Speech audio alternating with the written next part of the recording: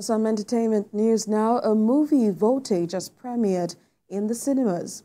Directed by Fred Amata, the movie delves into a prevalent concern with satirical lens, lenses, exploring its impact on individuals, families, and the economy.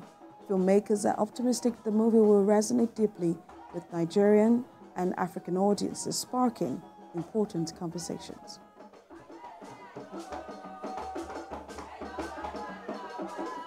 The movie tells their own story to the world, to the diaspora. Um, the movie introduces um, a very authentic, um, you know, a, very authentic feel.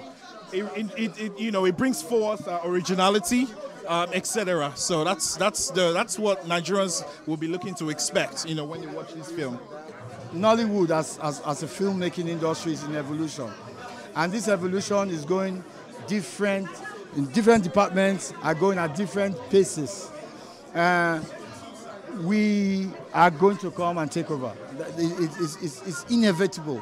For now, some areas have developed better than other areas. Uh, acting, for instance, despite the fact that we have not really started putting pressure on our, on our, on our actors, acting has evolved, uh, scripting has evolved, lighting has evolved. So all these various arms, as they evolve and get better, the industry begins to get better. Nollywood is the second largest movie producing industry in the world, right after Hollywood. We've knocked Bollywood out of the park. Before, the hierarchy was Hollywood, Bollywood, and Nollywood. But now, Nollywood has ascended up the ladder, up the hierarchy.